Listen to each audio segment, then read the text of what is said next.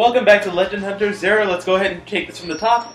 Yeah, so should we tell them what happened last? While recording this, well, it's not actually this recording, but while we were trying to get this part for Flame Mammoth, uh, we actually recorded during a power surge, and we actually lost half that uh, that original footage. Yeah, so I'm in control and I'm playing uh, Flame Mammoth. All right, so one of the more interesting systems that the earlier teams have is that when you defeat certain Mavericks, it causes changes in the stage levels.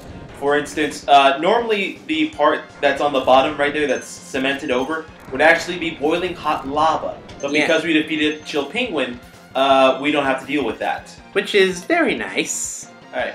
Now, there is an uh, heart up in this level, there is a sub tank in this level, and there is an X upgrade in this level, which I'm assuming Zero is going to attempt to do right now. Yes. Hey, there you go. Keep going, keep going, keep going. Don't... Ah, you missed it. Restart! Alright, take two. I hope. Keep in mind, I kind of suck at this.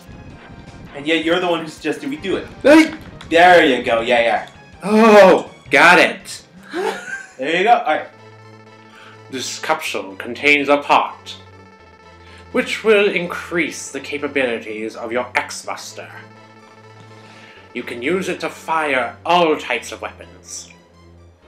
I'm trying to remember the Dr. Light voice from last time, and I think I got it. Mm-hmm. So yeah, this is the second upgrade, right? Third, third. Oh, third. My Third, mistake. It, it's stupid because the head part's only purpose is to get this part. I know, that's kind of dumb. So, from here, it should be a lot easier. Now, down here, avoiding these pickaxe guys, I hate these guys. You can find the heart container.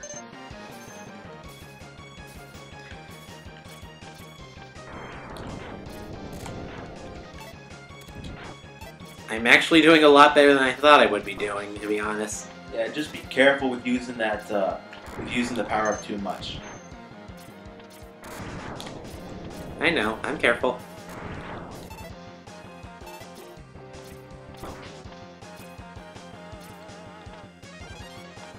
And jump over here, and we get the E-Tank. Now the problem is getting this thing. Yeah, it's kind of annoying, but at least with the leg parts it helps. So yeah, just there you go. There we go. Mm-hmm. So that's two E-Tanks we've got. There's four in all, so we have two more to go, and I think uh, there are as many life upgrades for um, for each stage. There's eight heart tanks and four sub tanks. Alright, so... And hey, I'm back to full, uh... Energy, yeah. So, like Dr. Light said, we can act, you can actually charge special weapons now. So, fully charge up the tornado here for a second, Zero. Okay. Okay, once you get to the pink charge, that's when you know you have it. And that pretty much destroys anything on top, below, or around you. The um, the shotgun ice that we got in pink in uh, in uh, Chill Penguin stage uh, actually creates a sled for you to ride on. Which is not bad. But uh, I'm not a fan of Chill Penguin's uh, moves. Oh god, you have no idea how many times I've tried to get through this area.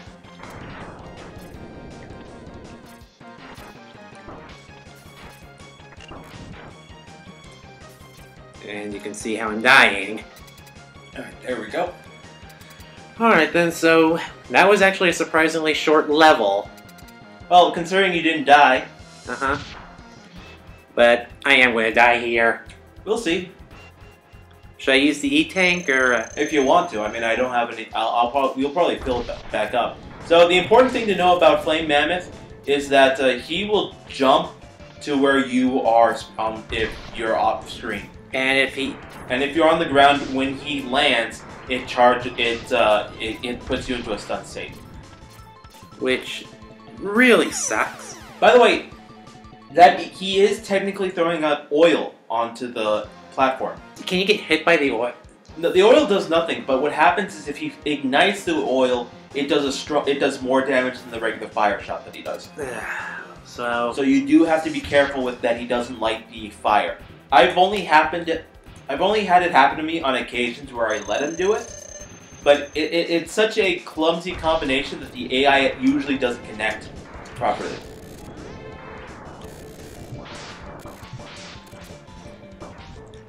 You usually want to stay near him because then you can see where his jumps are.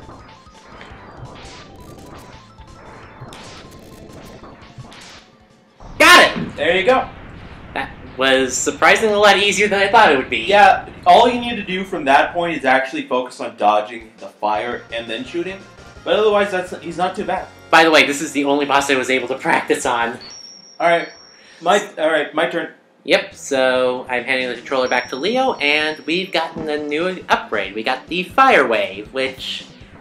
Eh, I don't think I was ever a fan of using it. It's actually really good. It just has one drawback in one stage, but really you wouldn't even use it for that stage anyway. Alright then. So, okay, so this is kind of weird because this is the I think this is the only X game I ever play out of order really? because um, remember as you noticed we actually took out Chill Penguin first. yeah, and, and Storm Eagle, and then we went to Flame Mammoth.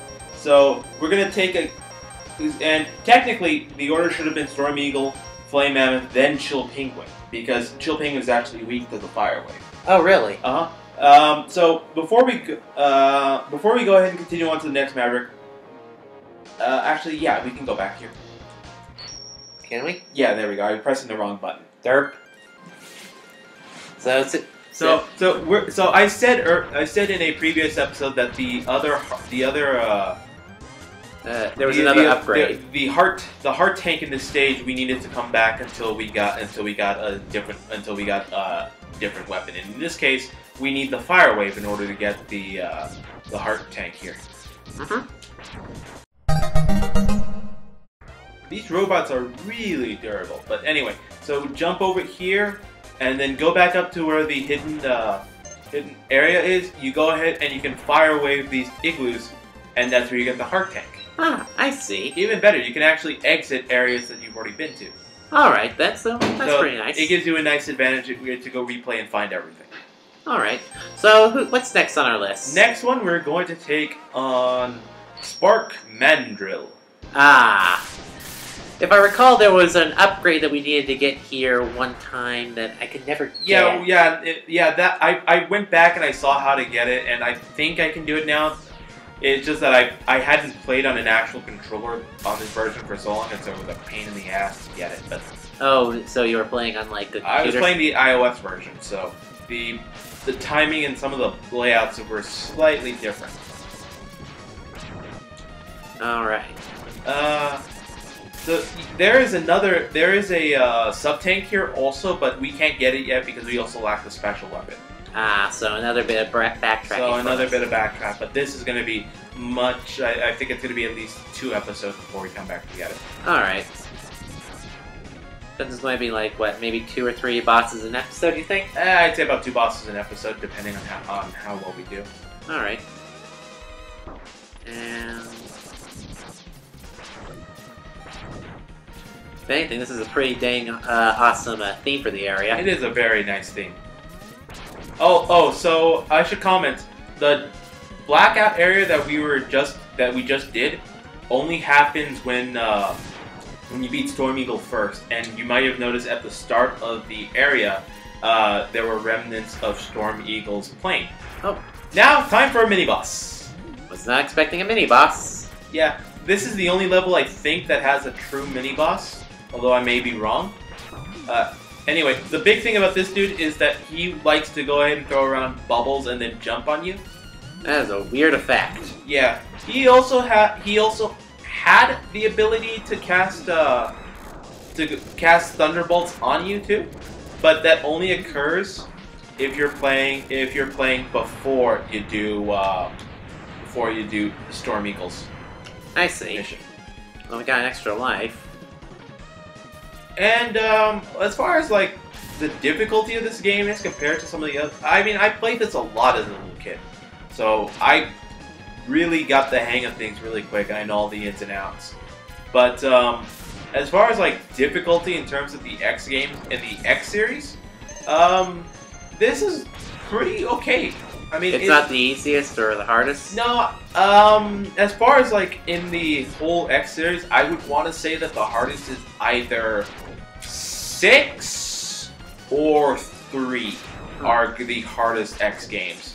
Keep in mind, I've only ever played X and X5. Or Uh, five isn't too bad actually, all things considered. So this is the uh, this is the heart tank that we were getting trouble. And what I did here is I dash jump by pressing the jump and the dash button at the same time to get enough distance to come off the come off the wall to hit that ledge. all right, so that was the one upgrade we were missing last time You we were- played this game. Yeah, and I could not for the life of me remember how you were supposed to get it. I thought it had to do. I thought it was either um, a uh, a jump that you had to make with the with the the slide, or it was a uh, or it was using one of the other weapons you get in the game. But no, it's actually just a time jump that's really, Really? difficult to make unless you know how, unless you know how to input it.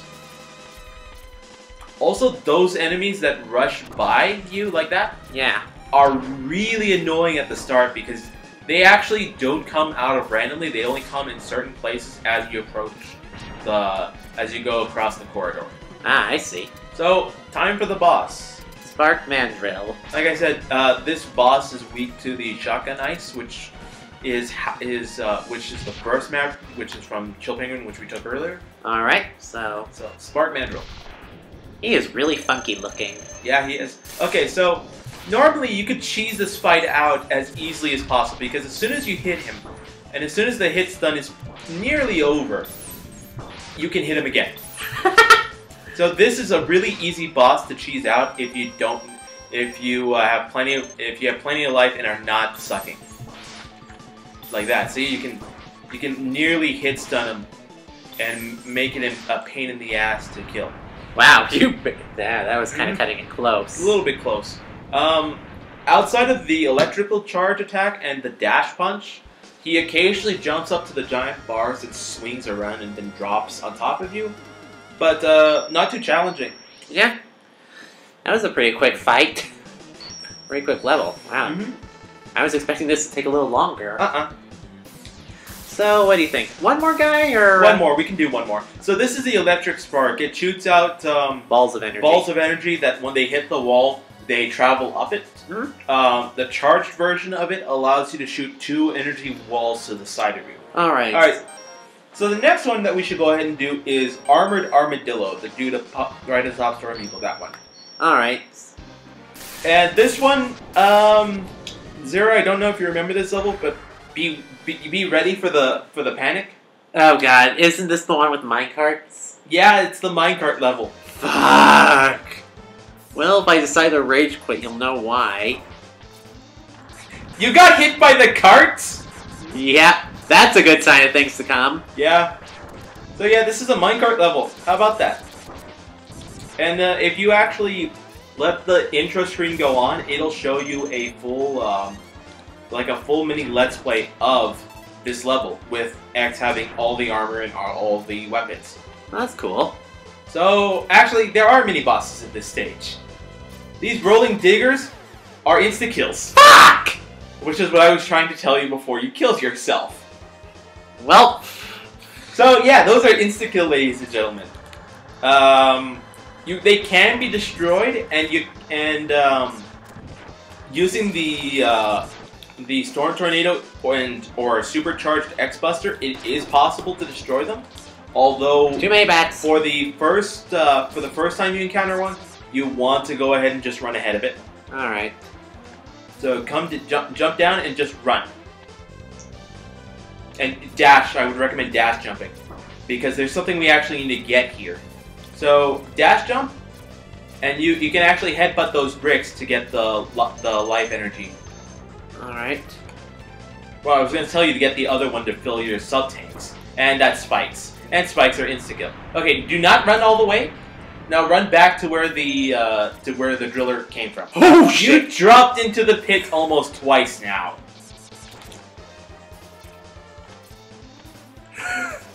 really, if there's any like tips I can give as far as like performing better, it's uh, it's your placement of your thumb. That really helps quite a bit. And using your thumb to tap the Buster and Dash buttons, and then leaving the bottom thumb to jump, really goes ahead and leaves uh, makes things easier. Alright. Ay, ay.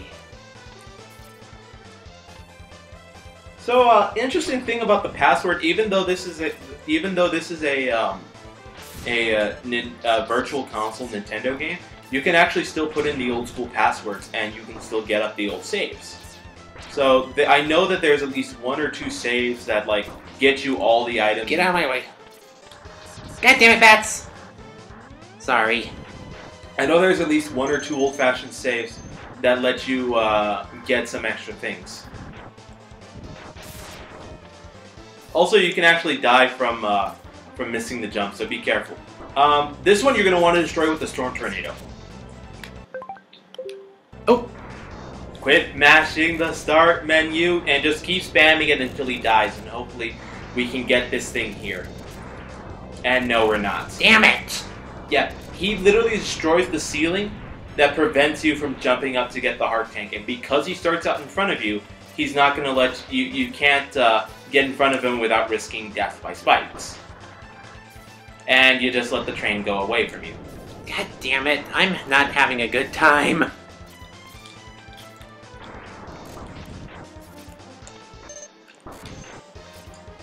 Uh, At the very least, there aren't spikes on the top of the ceiling.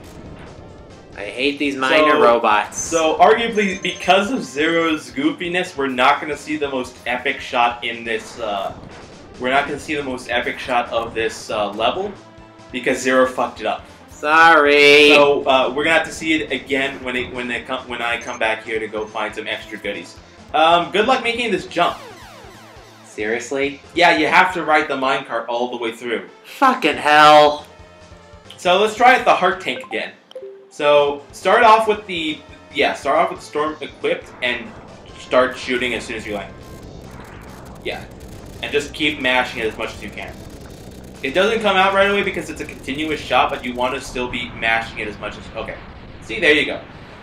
Alright. Now jump and get the heart tank. Yay. There we go. And we're almost at full. It actually goes much. Wow. At least I got the heart tank. Uh, how many lives do you have left? One, or technically two, because zero counts. As, is, we're in the old age of zero counts as a life technically. So, if you want to destroy him fast, you can also use the flame wave. Eh. I well, I don't really need it anymore, so. God. Yeah, but it's just annoying to have him right there and fuck you over.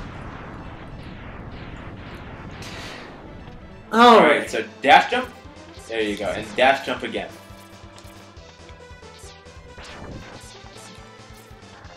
Alright, there you go. And just occasionally shoot to make sure nothing gets in your way. And those enemies only appear if you do the ride with the uh, with the minecart. And that is why this level is so epic. Uh, you may want to jump. Alright. And there you go. Alright, any recommendations for the fight? Yeah, you're gonna want to use the uh, shock the the shock ball thing. Alright. Okay, so. Darn it, I keep doing that. Start menu, start menu, or the shoulders. There you go. So the There we go. yeah, spark ball. He's really weak to this? Well, he's yeah, it's kind of weak. Well, you'll see why. So armored armadillo. He's actually a pain in the ass if you don't have his weakness. He's uh, first rule. He's impervious while he's rolling. Second rule. You want to shoot him when he's while he's unprotected. Like that? When you do that, it knocks off his armor, making him uh, penetrate making him vulnerable while rolling, to, vulnerable to damage while rolling, and it makes him um, makes him take damage from your buster easier. Okay, I need to do this a little bit better. That was kind of stupid of me. I'm sorry. So the head cannon that he has, you can just jump over it, and the only time you really need to move is when he starts rolling around. And that's really all of his attacks. Alright. The only reason he's a pain in the ass is because his armor allows him to block. So, now shoot. So, shoot. And that does super damage. You don't need to climb on the walls, and I highly disrecommend you climbing on the walls. Just jump the shots. Because if you climb on the walls, what I find ends up happening is that you end up getting hit by the by his uh, rebounds. So jump the shots. Jump the sh- no, do not go on the walls. Jump the shots. And you can actually sh- once Got he's it. unarmored, then you can shoot him. Okay, okay. I'm sorry, but I got him. Yeah, with with using all the lives we had. I'm sorry. I am so very and, sorry. you're, and you're saying we don't practice for Bayonetta. Shut up. I have not had time to play this game. Exactly, that's what we said. God damn it. I'm practicing for everything else. Alright, Anyway, we get the rolling shield, which actually, if you put it in a in a walled area, will bounce back and forth like a Koopa shell. cool. All right. In the next episode, we take a dip in a pool, we go explore some caves, and uh, we go climb a tower. Alright Until then. next time, see you then. Later, guys.